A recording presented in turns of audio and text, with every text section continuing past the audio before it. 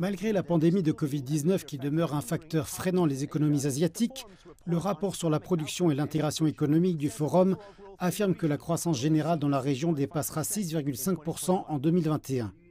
La signature de l'accord de partenariat régional économique global qui a eu lieu en novembre 2020 insufflera une forte dynamique à la croissance économique régionale et mondiale. L'initiative Ceinture et Route a également obtenu des résultats remarquables. Le rapport prend note des progrès continus de l'intégration du commerce des marchandises dans la région.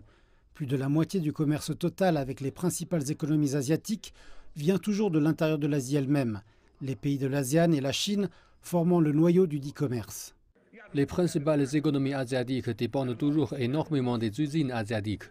Bien que la pandémie de Covid-19 ait perturbé les réseaux de production de ces usines en 2020, cela n'a pas suffi à décentrer la chaîne mondiale de valeur de l'Asie.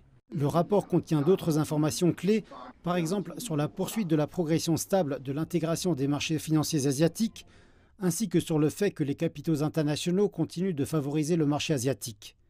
Autre fait marquant, en 2020, les flux d'investissement directs mondiaux ont chuté de 42%, tandis que ceux des économies en développement d'Asie n'ont diminué que de 4%.